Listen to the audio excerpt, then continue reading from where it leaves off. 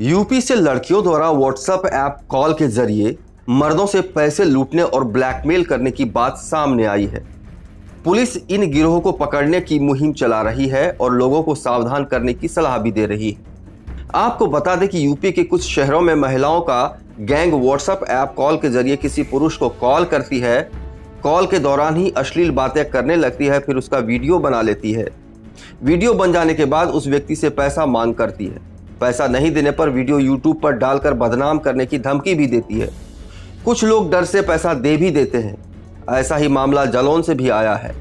SP Jalaun doctor Yashveer Singh ने आम जनता से सावधानी बरतने को कहा है और अगर कोई लड़की किसी के साथ इस तरह की हरकत करती है तो पुलिस को सूचना देने को भी कहा है।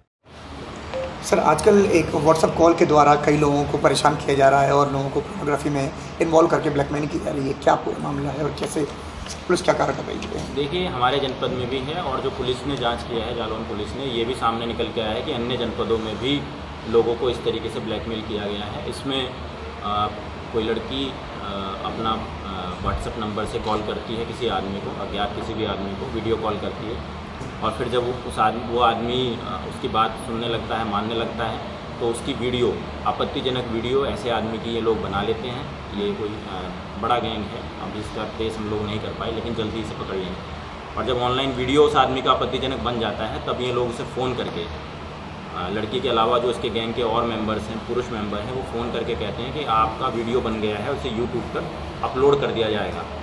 और खाता देते हैं, जिसमें पैसा डलवाने के लिए ये लोग करते हैं।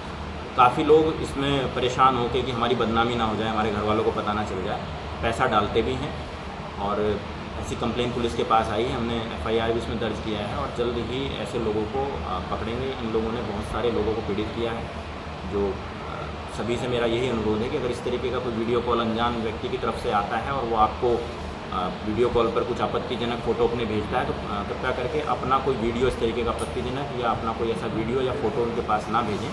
और अगर किसी तरीके की ऐसी कॉल आती है जिसमें पैसे की डिमांड की जाती है कि आपका वीडियो या फ़ोटो अपलोड कर दिए जाएँगे यूट्यूब या फेसबुक पर तो पुलिस को तत्काल बताएँ और इसमें कार्रवाई की जाए।